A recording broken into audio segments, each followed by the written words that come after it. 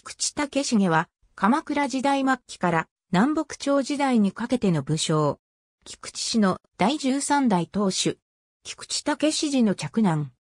1333年、東武寺と共に挙兵し、鎌倉幕府の鎮西短大、北条秀時を攻めたが、逆に、秀時や小児提供、大友貞宗らの反撃を受けて、父は討ち死にし、竹重は命からがら本国に逃げ帰った。後醍醐天皇による兼務の申請が始まると、防府の功績を称されて、肥後一国を与えられた。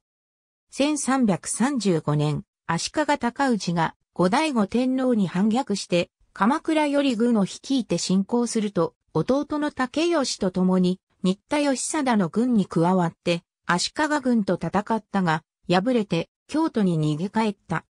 その後、九州に落ちた高氏が再挙して攻め上ってくると、兵庫など各地で足利軍と戦ったが、敗れて足利軍に捕らえられた。しかし一名は助けられて、肥後に送り返されている。1337年2月、九州における南朝勢力を結集して、北朝勢力と戦ったが、1338年に死去。後を弟の武士が継いだ。没年には遺説も多く、1341年、もしくは1342年説もある。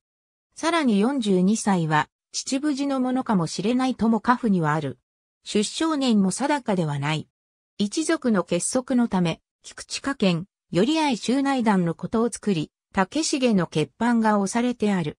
欠板文書としては、最古のもので、菊池千本槍とともに、現在も、兼務中高15社のうちの一社である、菊池神社に保存され、同神社では、武士、竹光と共に主催神として祀られている。